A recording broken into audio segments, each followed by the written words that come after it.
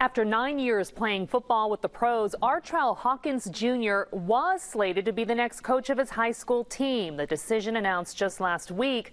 Tonight, though, he's out. Bishop McCort Catholic High School says it has rescinded its decision, though the reason why isn't entirely clear. Maria Miller is here with the latest. Maria? Well, Jen, there was certainly an element of surprise last week when Hawkins' hiring was announced. A well-known grad and nine-year NFL veteran coming back to coach his beloved high school team.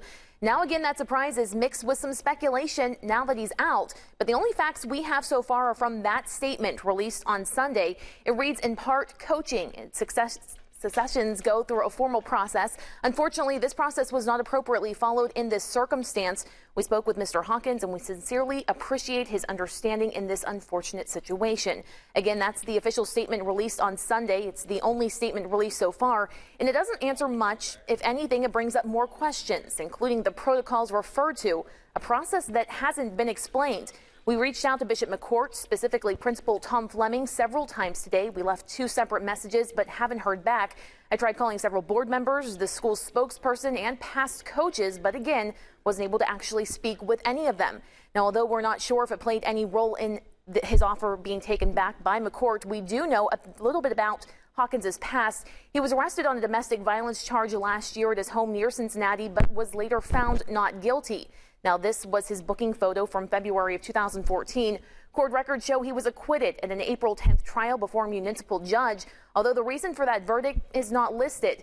His defense attorney told the Associated Press today that he was acquitted because he did not commit the crime police described. Cincinnati-based defense attorney William Gallagher told the AP that Hawkins kicked in a door after his wife locked him outside during an argument, but said that he never threatened his wife, which was the basis for that charge. Gallagher added that he didn't know whether the domestic violence charge cost Hawkins uh, his coaching job at McCort, but said he wouldn't be surprised if it did, adding that Hawkins did lose a Fox Sports radio job because of that arrest. Now, the one person we did find today was Artrell's stepfather. He told us Artrell's mother is out of town this week, and he himself has not been able to get a hold of Artrell.